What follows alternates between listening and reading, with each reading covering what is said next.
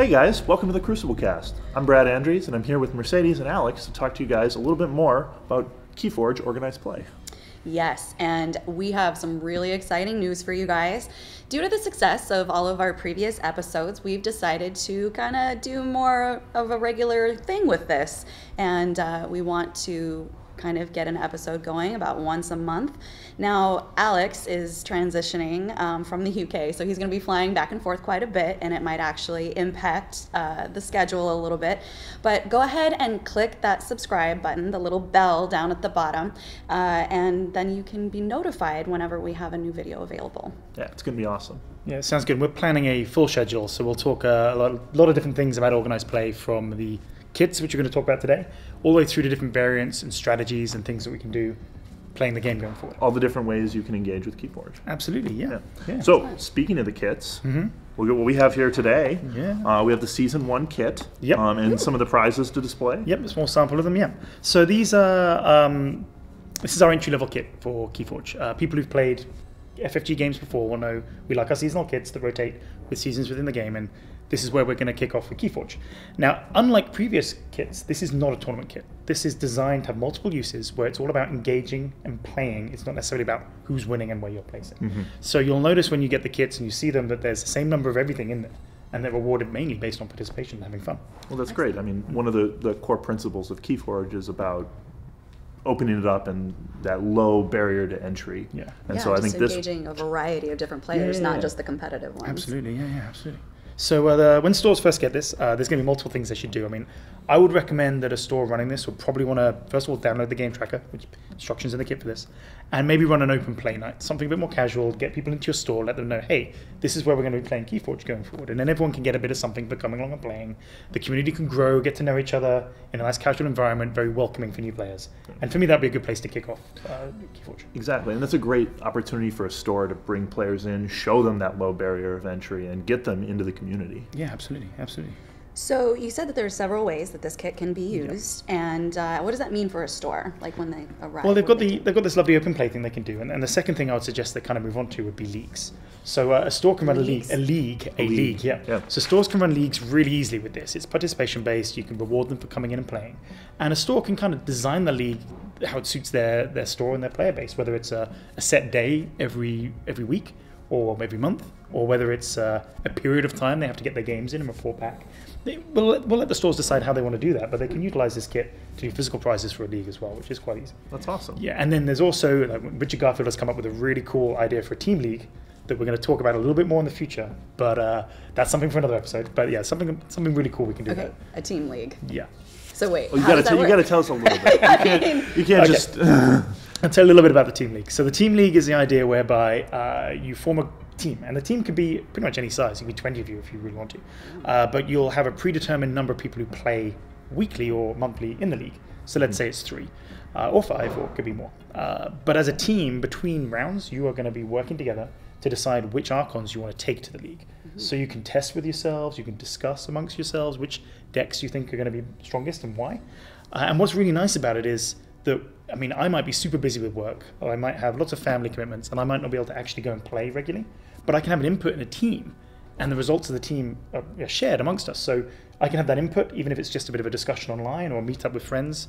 Then we can decide on the archons, and then my friends can go and play them and compete on my behalf. And I quite like that. That's more of an inclusive way of, of doing things. Oh, that's wonderful.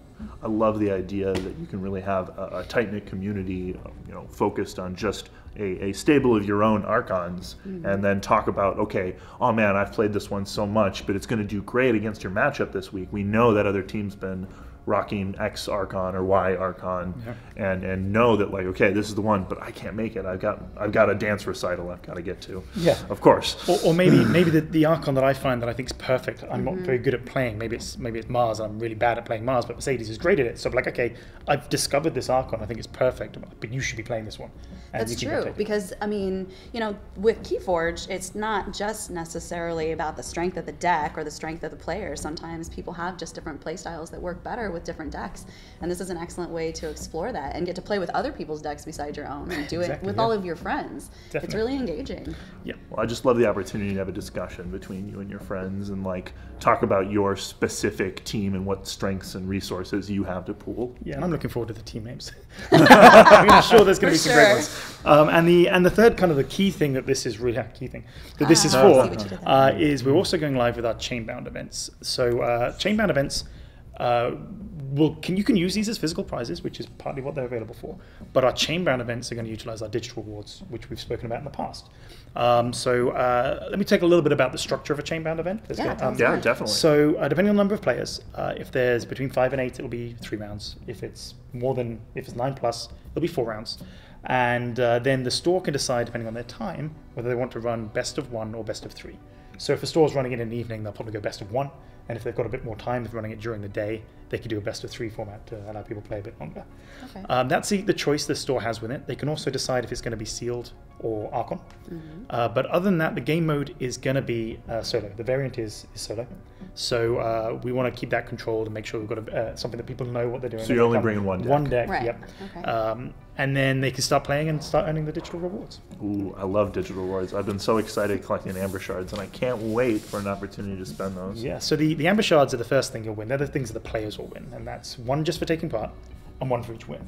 Oh. So if you go to a large chainbound event and win every game, you're going to come away with five amber shards. So you could get sort of over 20 in a month if you're getting really good at this. So That's that's, awesome. a really quick way to start gaining more amber, amber shards in the app. Uh, but then we'll also start seeing the chains being awarded. Mm-hmm. Uh, and the chains, again, it depends on whether it's a three round or a four round event.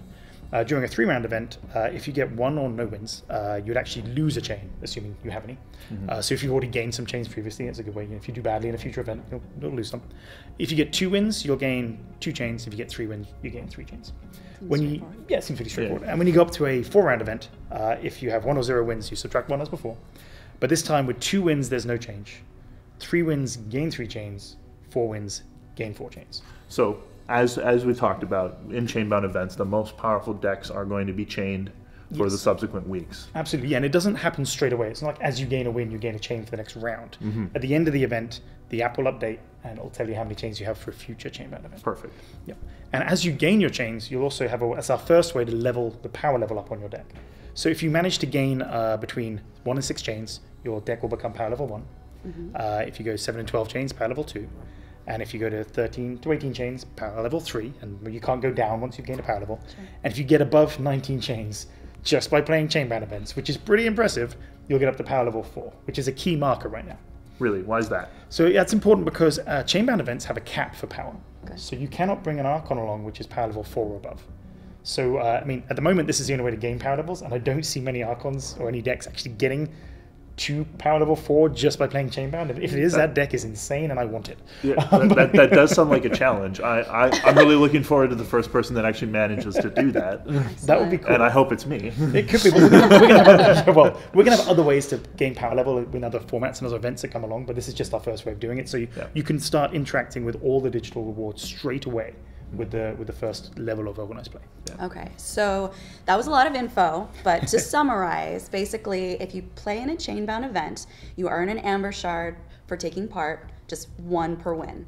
And then, depending on your results, you either lose chains or gain chains on that Archon, and then that will come into play at the next chain bound event. Absolutely. And then, if you manage to earn enough chains on that Archon, the Archon's power level will increase. Yes. Ah, I'm just I'm just so excited to increase the power level of my decks.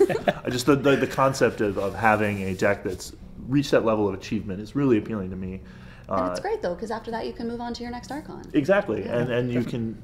It gives you a good uh, play cycle that you can move through of leveling up your archons. Right. I'm, I'm just I'm so excited. Yeah, and I'm super excited for the open play nights. Just getting together and meeting new people who are just having fun playing the game that love it as much as I do. It's awesome. Definitely. For me, it's just getting people playing the game more and more. Yes. Like, I, I mean, it's kind of my job, but I, I enjoy hearing about people playing the game. I enjoy hearing about the stories and then the anecdotes people have. So the, the more we can encourage that, the better.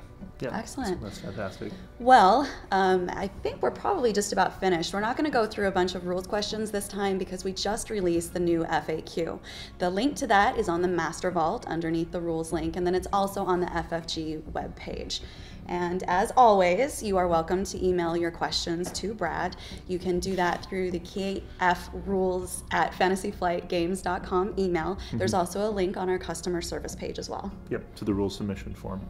But I think we've covered a lot. We talked about season one kits, chainbound tournaments. Check out that FAQ. Um, I'm Brad Andrews. I'm Alex. And I'm Mercedes. Thank you guys so much for joining us on the Crucible Cast. We're looking forward to seeing you guys next month. Remember to like, comment, and subscribe. Hit the bell.